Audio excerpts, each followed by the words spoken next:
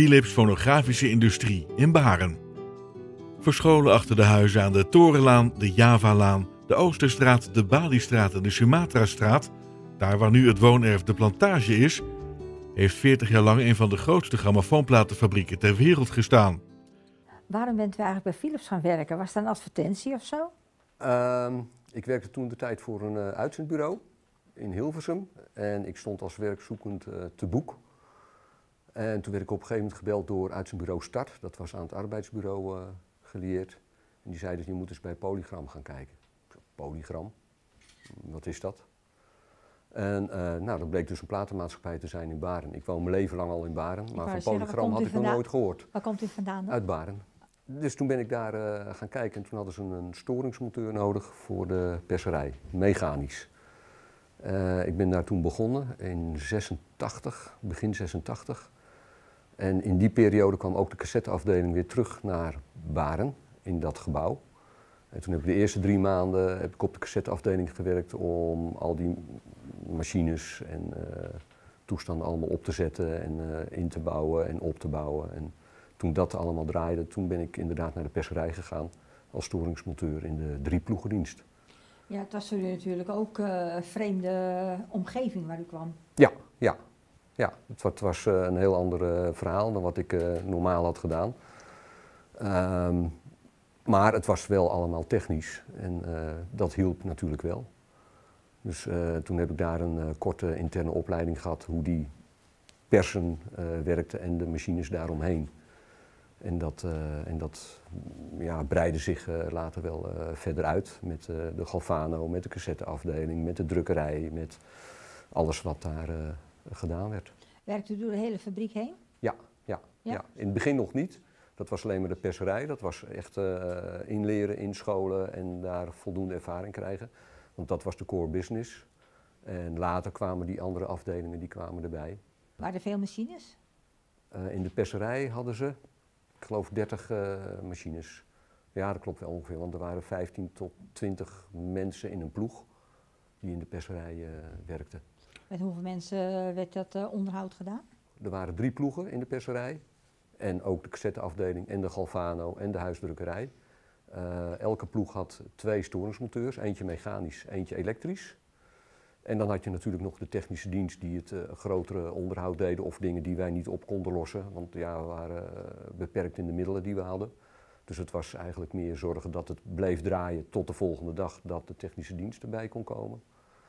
En ja, op zo'n manier hielden we het draaiend. Kwamen er ook wel eens buitenlandse gasten op bezoek? Ja, uh, er kwamen op een gegeven moment kwamen de Chinezen die kwamen op bezoek. Ja, en niemand sprak natuurlijk Chinees. En toen werd die meneer van de Lange Muur, die werd gevraagd of hij wilde vertalen. Nou, die had geen enkele technische achtergrond. maar dat werkte wel. Dus ja, die kwam binnen met die Chinese club, allemaal keurig stropdasje en pak in zo'n zo zo fabrieksomgeving. Nou, en dan werd het spul, werd alles vertaald. En dat, en ja, dat deed hij natuurlijk niet voor niets, maar ja, dat, dat kon niet anders. Dus als je dan bij de Lange Muur ging eten, zag je plotseling een hele mooie installatie met speakers in het plafond. En op die manier werd dat opgelost. Ja. En dat was wel heel leuk eigenlijk. Ja, ja wat ik kan me voorstellen, kijk, er, er wordt naar het buitenland gegaan. naar fabrieken en naar studio's. Maar het komt natuurlijk ook weer terug om hier te kijken. Ja, het expertisecentrum zat in Baren natuurlijk ten tijde van die persen. En dan kwamen ze bij ons kijken hoe het allemaal ging. Ging u zelf wel eens naar het buitenland? Ja, ik ben wel naar het buitenland geweest, maar dat was weer veel later. Want ik ben begonnen als storingsmonteur bij de perserij. En dat heb ik twee jaar gedaan. Toen ben ik teamleider perserij geworden. En toen begon die perserij al een beetje minder uh, te draaien. Het, het, was een beetje het einde van de LP-tijdperk. Um, maar toen begonnen ze met de DCC-cassette, digitale compactcassette. En toen was er iemand die wist wat voor opleiding ik had en wat ik wel en niet kon. En die vond het wel prettig als ik bij dat project kwam. En toen werd daar een, een, een functie voor gemaakt en dat was dan technisch uh, groepsleider. Wie uh, Philips zegt of Polygram, die denkt toch aan muziek. Er werden veel platen gemaakt, muziekcassettes werden gemaakt. werd het ook daar eh, afgeluisterd? Om te Ja. kijken of de platen goed waren? Of, eh, of was het op, in een apart eh, gedeelte van eh, de fabriek? Ehm, ja, dat is, dat is vrij uitgebreid, die eh, kwaliteitscontrole. Eh, om te beginnen deden de operators zelf, eh, die keken naar de plaat, of ze daar dingen in zagen. Ehm, ze luisterden naar de platen, want het waren in de perserij kleine luistercabines. Daar konden ze luisteren. Dan had je een hoofdcontroleur voor de perserij. Als er dan twijfelgevallen waren, die zat dan buiten de perserij en die had een betere luisterkamer, betere apparatuur. En dan had je voor de productie had je ook nog een ruimte die was achter in de inhoeserij. En daar zaten drie, vier mensen en die waren constant platen aan het luisteren. En daar stonden ook heel veel draaitafels en daar zat een zogenaamde tikkenmeter zat daarop.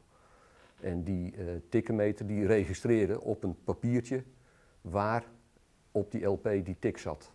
En dan moesten de heren daarna dan het papiertje eruit en dan de plaat meenemen. En dan moesten ze luisteren of dat door kon, ja of nee. Maar ja, als je nachtdienst draait en, eh, en je hebt om een uurtje of drie eh, gegeten. En je komt dan weer in die controleruimte, daar is het warm. Dan wil het nog wel eens voorkomen dat de man met de hamer langskomt en dat je in slaap sukkelt. Ja, En dan eh, heb je wel eens, dan werden die mensen wel wakker gemaakt, zo eh, half zeven, kwart voor zeven. Maar dat er een eh, twee meter papier lag van al die tikken van de sluitgroef. het was niet alleen populaire muziek, het was ook klassiek. Concertgebouw Ja. werd opgenomen. Er was natuurlijk Philips Classics, maar ook Deutsche Grammophon. En er werden opnames gemaakt in het concertgebouw. En dat gebeurde altijd s'nachts. En En waarom was dat? dat was, want ik kende iemand, of, of die man die die controle deed. Dat was eh, Bart Oranje. En dat vond ik altijd wel leuk om daar eens een beetje te luisteren en hoe dat allemaal werkte. Mocht u daarbij zijn? Daar mocht ik bij zijn. En eh, die liet me op een gegeven moment een LP horen van een groot concert. En op een gegeven moment hoor je zo heel zacht door de muziek heen hoor je een bus wegrijden. En je hoort hem dus echt opschakelen en, en, en dat ging wel door. Want eh, op de normale huistuin- en keukeninstallaties kon je dat gewoon niet horen. Maar in die ruimte kon je dat wel horen. En dat was dus wel heel eh, apart. Heeft u ook een binding met muziek? Ja, dat was toch wel. eh, ja, de mensen gingen daar gewoon niet weg. De muziek, dat was eigenlijk wel de bindende factor. En ja, iedereen die daar werkte, die had, die had wel wat met muziek. Daarom was het ook heel vervelend toen de perserij eindelijk sloot. Ik ben dan de dans ontsprongen door naar DCC te gaan en naar Amersfoort. Maar er zijn heel veel mensen die zijn toen op straat eh, gekomen. Het was onder elkaar ook erg gezellig. Een personeelsvereniging, een personeelswinkel. Er was een eh, blad werd uitgegeven. Maar er werden ook wel eens feestjes gehouden, hè? Eh, ja, er was een personeelswinkel. Daar konden we cd's kopen, lp's met korting, maar ook, ook televisies, versterkers, noem maar op. Alles wat Philips een beetje verkocht in die audio-video toestanden. Ehm, en we konden één keer per maand eh, mochten we een LP meenemen, maar dat was voor sommigen was dat niet genoeg. En er werd af en toe wel eens wat meegenomen op eh, soms hele slinkse manieren. Vertel. Eh, er was er eentje, die was zo slim, die pakte gewoon een, een, eh, een, een, eh, die LP's die werden per 20 in een doos verpakt. En dat ging op transport. Nou, en dan eh, verzamelde hij LP's die hij graag wilde hebben en die deed hij in zo'n doos. En die eh, adresseerde hij aan zichzelf, maar dat ging dan naar Amalia Wolde. En dan reed hij daar langs. Goh, volgens mij is er een pakketje voor hem gekomen met de interne post. Ja, ja, hier is het. Ja, Zo krijg je het ook. hè? Ja, zo krijg je het Zo ook. Maar ja. Als je, als je daarmee eh, gesnapt werd, ik geloof dat je één keer een waarschuwing kreeg. Ja, en daarna was het gewoon, eh, ja, Nee. dat was meteen ontslag. Toen je hier werkte was het ook de tijd van de piraten hier in Baren, hè? Ja, Radio. ja. Eh, ja, die hadden dan wel eens een primeurtje volgens mij, of niet? Eh, ja, eh, terugkomend op het verhaal dat er wel eens wat eh, meegenomen werd, probeerden ze ook wel eens een singeltje mee te krijgen. En ik heb me laten vertellen dat ABBA was toen in die tijd nogal populair. En Radio 3 of Hilversum 3 of hoe dat dan ook heette, die zou in ieder geval de primeur voor Nederland krijgen voor een nieuwe single. En ik geloof zelfs dat het een wereldprimeur was. Maar ik geloof dat eh, een dag daarvoor eh, draaide die single op de Baanse Piraat. Er werden ook wel eens feestjes gehouden. Eh, eentje die me heel erg goed bijstaat, dat is het feest van de 100 miljoenste LP. En toen werd er een heel groot feest gegeven in de hotels van Oranje in Noordwijk, geloof ik, zitten die. En voor iedereen is daar toen een kamer gereserveerd. Daar kon je naartoe met je partner. En dat was echt een geweldig feest was dat. Marco Bussato onder andere trad daarop. Dat was wel heel leuk. Maar je had ook één keer per jaar had je de zogenaamde konijnenavond. En die ik heb meegemaakt, die waren altijd in Gooiland, in Hilversum werden die georganiseerd. Ja, en dat was tegen kerst en dan kon je een konijn winnen. Altijd leuk gewerkt, hè? Ja. Ja? Ja, als het door was gegaan, dan had ik er waarschijnlijk nog wel gewerkt. Of Leuke collega's? Ja, ja. Allemaal met hetzelfde... Ja, er moest wel hard gewerkt worden, maar het was toch, ja, de muziek was de, de verbindende factor.